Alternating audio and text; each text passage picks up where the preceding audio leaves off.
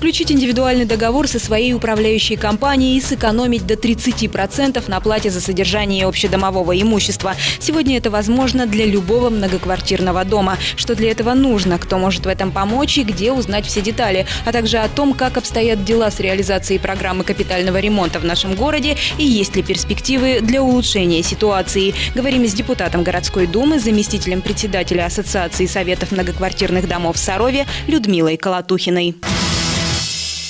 Людмила Иргалеевна, сфера ЖКХ, наверное, одна из таких самых основных сфер, где больше всего вопросов и жалоб горожан. И зачастую эти жалобы, они связаны с несоответствием а, тех средств, которые платятся, и получаемых работ. При этом мало кто знает, что жилищный кодекс, оказывается, я сама недавно узнала об этом, только позволяет установить собственникам свою цену на работы по содержанию жилья. А, для этого необходимо организовать, как я поняла, общее собрание собственников жилья, проголосовать за стоимость, а, заключить а, договор с управляющей компанией. Это в теории. На практике все, наверное, немножко посложнее. Вот об этих индивидуальных договорах давайте с вами поговорим, потому что я знаю, что прецедент в Сарове уже есть. Уже один многоквартирный дом заключил а, такой индивидуальный договор с центром ЖКХ. Что они получили благодаря этому договору, как, как сражались. Я знаю, что это не за один месяц все решилось, это была долгая борьба за этот договор. Чуть-чуть поподробнее расскажите расскажите об этом. Да, действительно, у нас в Сарове, можно сказать, э, произошла революция, прорыв, о котором лично я мечтала очень давно. И мы, э, а я имею в виду Ассоциацию советов многоквартирных э, домов Сарова, проводили эксперименты и мечтали о заключении новых договоров с управляющей организацией. Что такое договор? Это прежде всего его э, определение его стоимости, то есть э, расчет затрат на содержание непосредственно вашего дома. А Давайте сразу затраты... определимся, вот что входит в понятие содержания дома к содержанию э, или к затратам на содержание угу. относятся затраты, связанные с содержанием общедомового имущества. А к общедомовому имуществу э, у нас относятся э, крыши, угу. э, вентиляционные, снега, да, да, фасады, э, сами домов, фундаменты, э, приборы э, коллективного учета, угу лифтовое оборудование, э, внутридомовые инженерные сети, фундамент, подвальные uh-huh, помещения. Ну вот крыши На я... содержание, получается, вот этого всего имущества мы, э, как собственники, сами можем установить цену. В соответствии с жилищным кодексом цена на содержание устанавливается непосредственно собственниками на момент заключения договора. Управляющая организация, а у нас их сейчас в Сарове уже несколько, МУП, Центр ЖКХ, не является монополистом, должна предоставить расчеты для собственников, которые она э, предлагает при Э, заключение там, договорных отношений. Угу. То есть, э, к примеру, вот, допустим, содержание крыши стоит, э, наугад цифры говорю, 50 рублей с квартиры, потому что в эту цифру входит это, это и это. И я как собственник либо соглашаюсь, либо не соглашаюсь с этим да. расчетом. Но дело в том, что собственники должны принять коллегиальное решение на общем собрании. Угу. Что это означает? Что э, при заключении договора э, должно быть проведено общее собрание, которое определяет основные позиции договора и э, утверждает затраты на содержание общего имущества. И все-таки вот как эта стоимость определяется? Она определяется исходя вот из расчетов управляющей компании или жители сами как-то решают? Все равно какое-то основание должно быть, не из головы же эти цифры Конечно, берутся. конечно. Только управляющая организация знает, нормативные документы, знает тот объем работ и те затраты, которые ей необходимо э, сделать, совершить для предоставления конкретной услуги. И, и чтобы поэтому... мы с этим согласились, они должны это обосновать, а мы там с ними уже можем поторговаться. Конечно, конечно. Если мы не принимаем решение об установлении размера затрат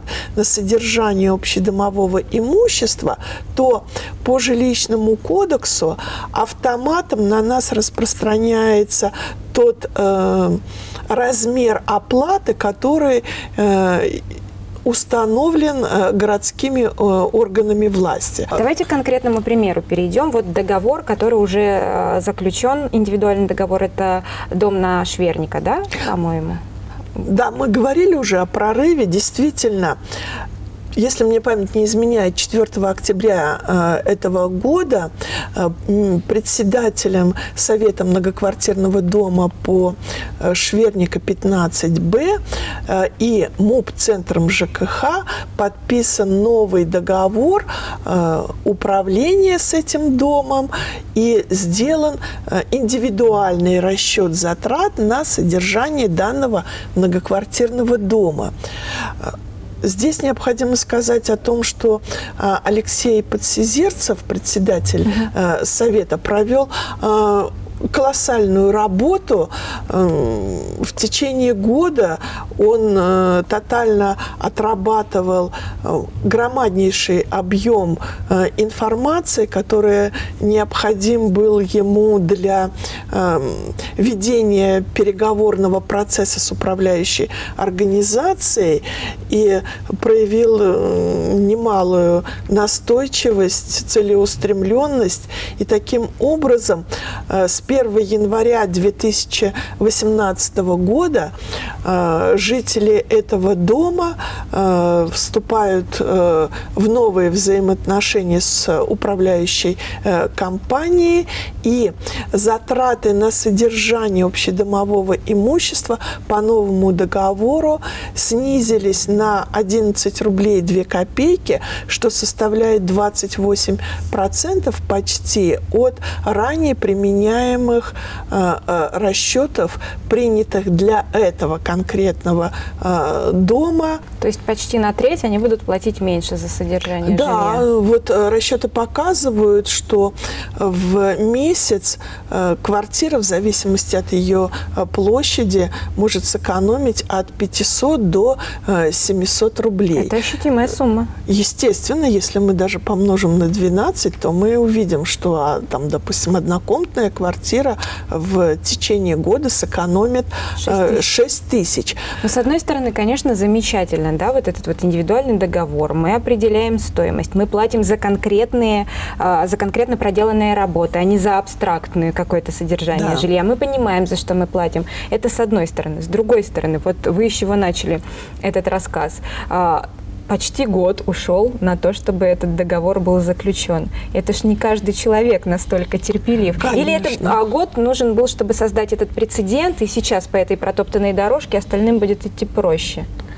Как вы думаете? Или все-таки все пока сложно с этим? Но мы должны порадоваться, что э, состоялся первый факт. Э, и даже в области отметили, что мы являемся вот одними из первопроходцев. Э, порадовались э, за нас.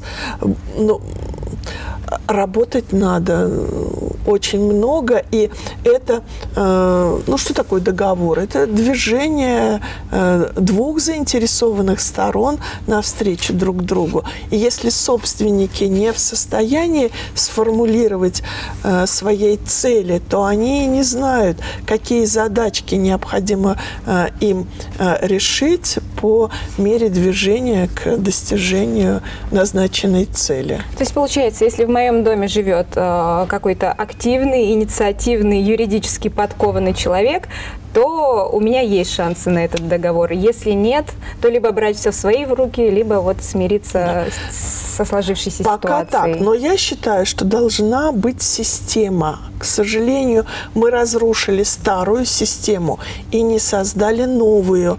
А новую систему да, и схему ее организации должны создавать местные органы власти, потому что данный вопрос не относится ни к федеральному, ни к региональному уровню. Это вопросы местного значения. Но для того, чтобы э, решить вопрос э, местного значения, необходимо научить да, людей живущих в одном доме, принимать коллективные, коллегиальные и легальные решения. Необходимо создать условия для э принятия этих решений. У нас, к сожалению, этого э, в городе нет. Ну вот А, вы проводите школу умного, да, собственника она нет, называется? на следующий год мы отметим пятилетний э, юбилей нашему первому проекту, который называется «Школа ответственного, Ответственного, да. собственника», которая проводится у нас э, каждый четвертый четверг месяца в библиотеке имени Маяковского. Всех приглашаю. Вход свободный Э, для вход- всех. Да, вход свободный. Без этого э, информационно-просветительского проекта очень сложно э, одному э, решать э, задачки по формированию новой системы взаимоотношений с управляющими э, организациями, а они в этом да, не заинтересованы. Ну, конечно. Хорошо, что мы практически в Сарове жили очень длительный период, как при коммунизме.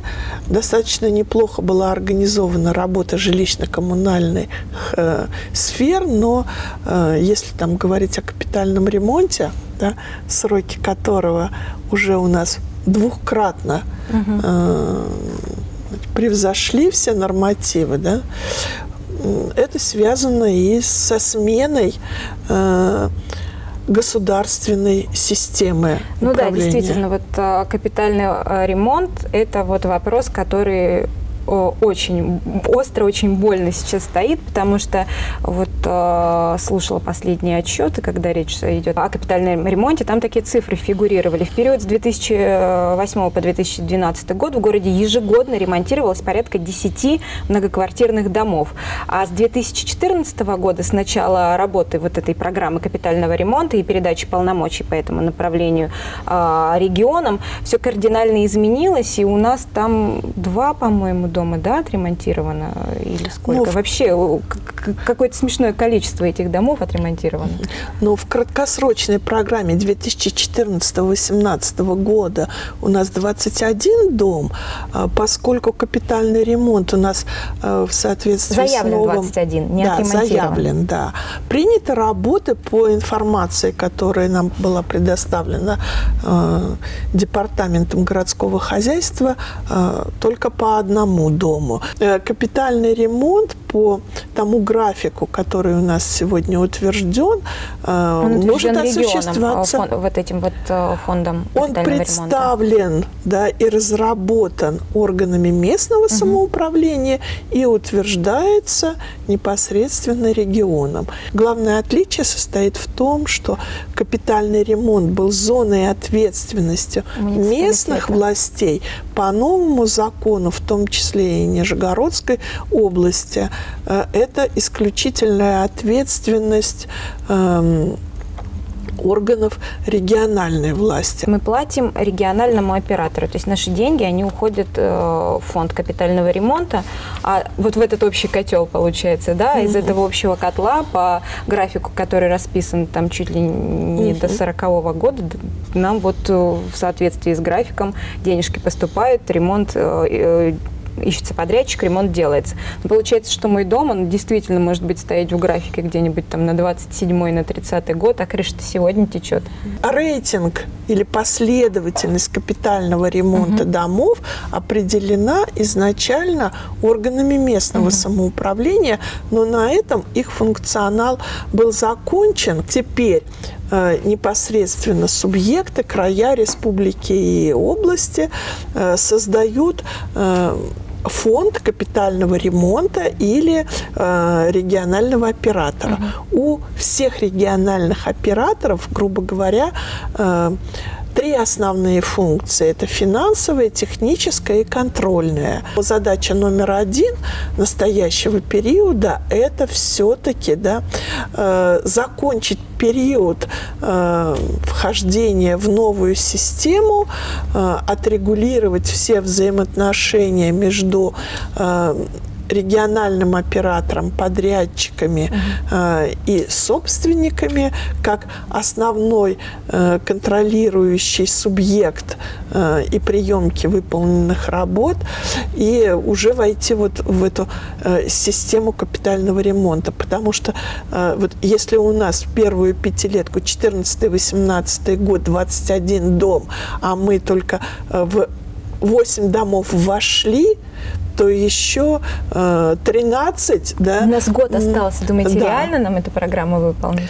Э, ее выполнить еще э, Э, нереально по двум причинам. Мало того, что область как бы не очень эффективно, видимо, сработала по организации капитального ремонта. У нас есть свои особенности закрытого административного территориального образования, когда три месяца необходимы для оформления э, въезда э, подрядчику. подрядчикам, тем людям, которые занимаются проектировщиком, вот проектировщиком. А у нас в Сарове нет этого, своих?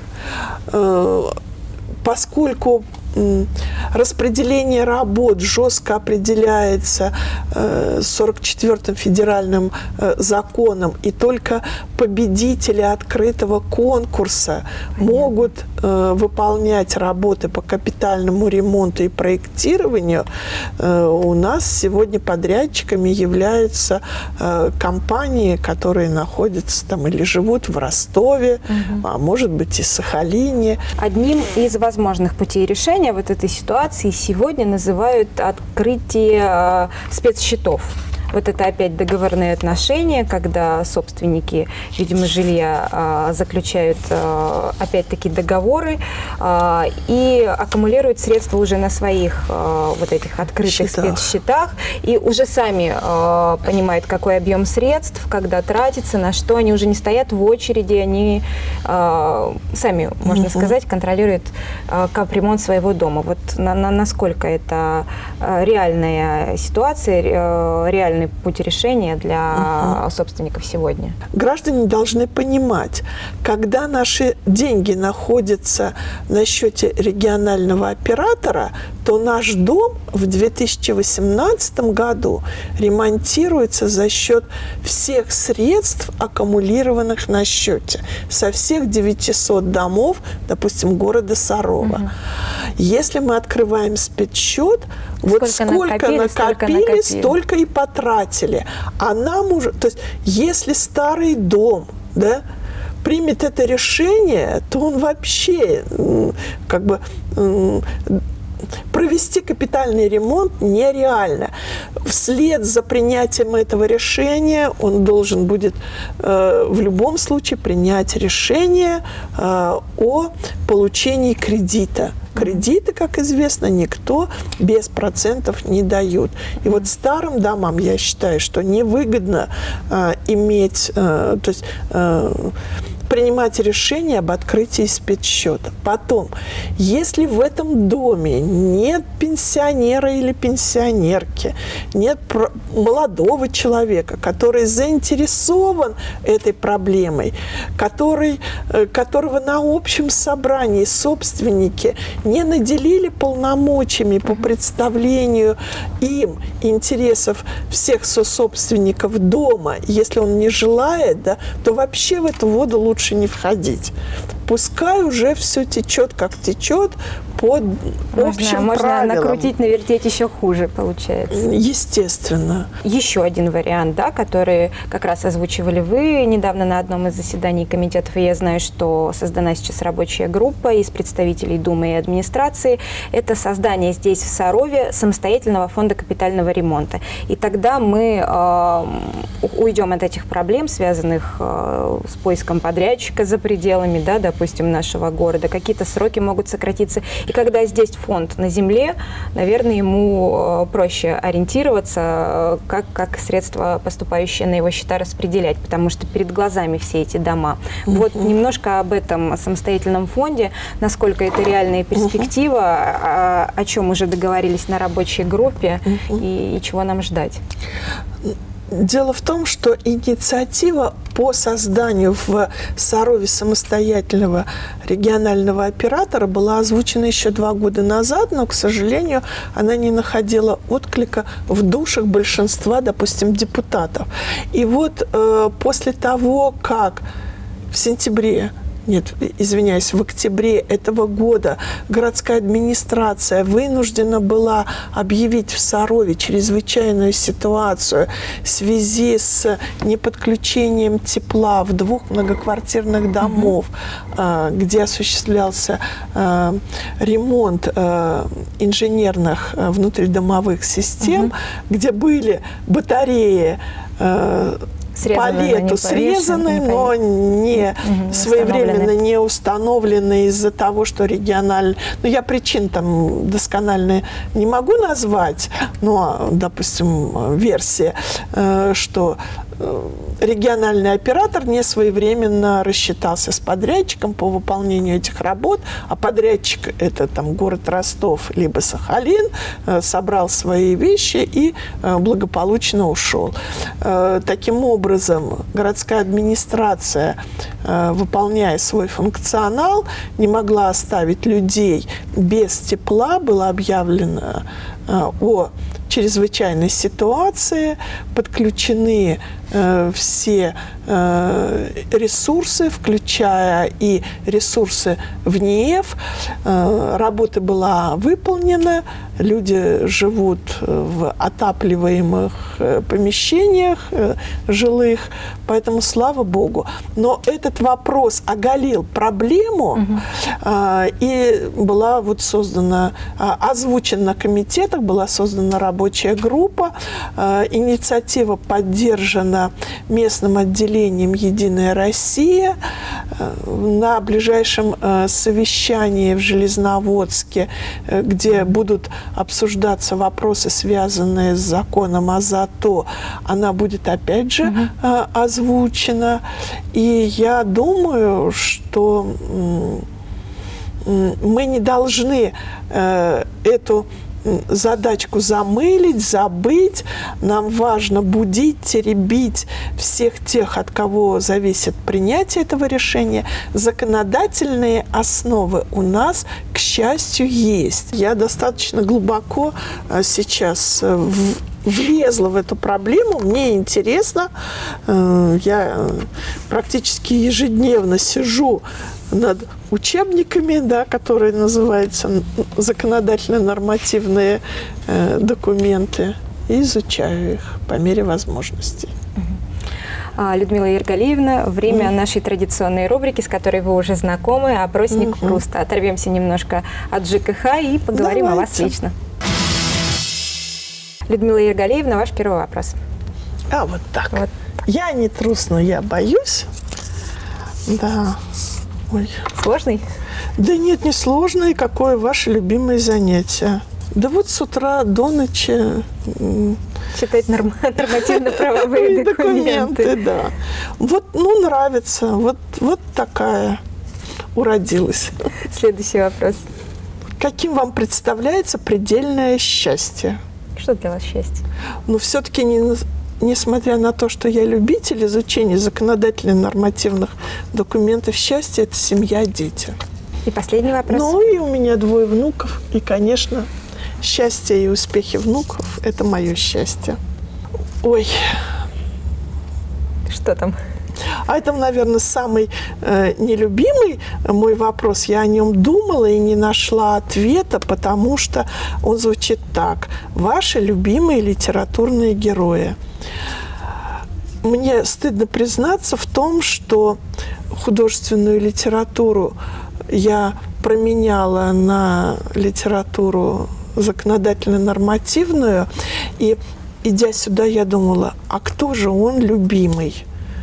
Вот, и, наверное, я отвечу, что ну, нет у меня сейчас любимого героя. Я попытаюсь в ближайшее время с ним определиться. Хорошо, спасибо за ваши ответы. Это была Людмила Колотухина.